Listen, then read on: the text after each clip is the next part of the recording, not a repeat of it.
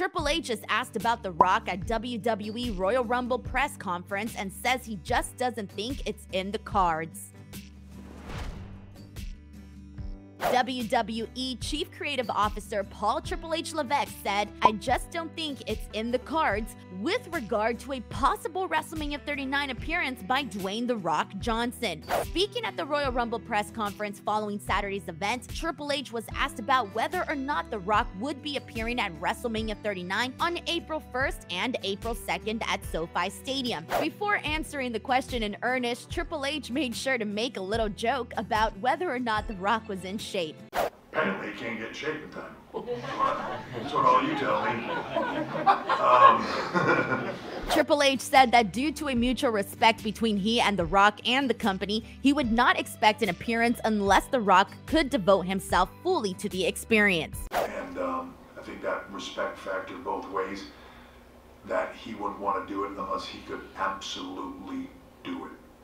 Do you know what I mean? He's, there's no way he would show up here and half-ass it. There's no way he would show up here and not come in and want to put every single thing he had into it to make it the best it could possibly be. So unless he can do that, it, it won't happen. Triple H said the door remains open for appearances by The Rock in the future and that the company has an open door policy for him.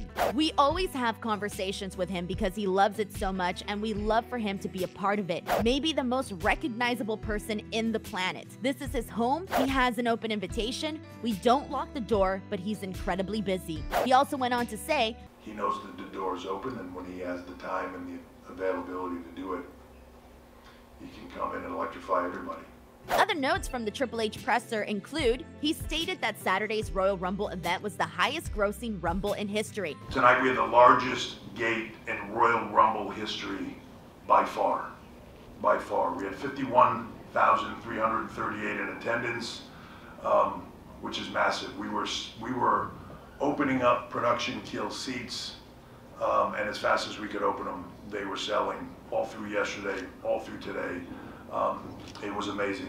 With the most advertising revenue in the event's history. He also said that more than 100 media members were on hand for the Rumble, a number more akin to a WrestleMania. Triple H noted that WrestleMania 39 has already set the all time gate record for WrestleMania without a single match announced for the card. Leads us to what will be the biggest two day, one of the biggest period WrestleMania that we have ever had. Um, we have already set the all-time gate record for WWE WrestleMania, and um, as of as of earlier today, we hadn't even announced a single match yet.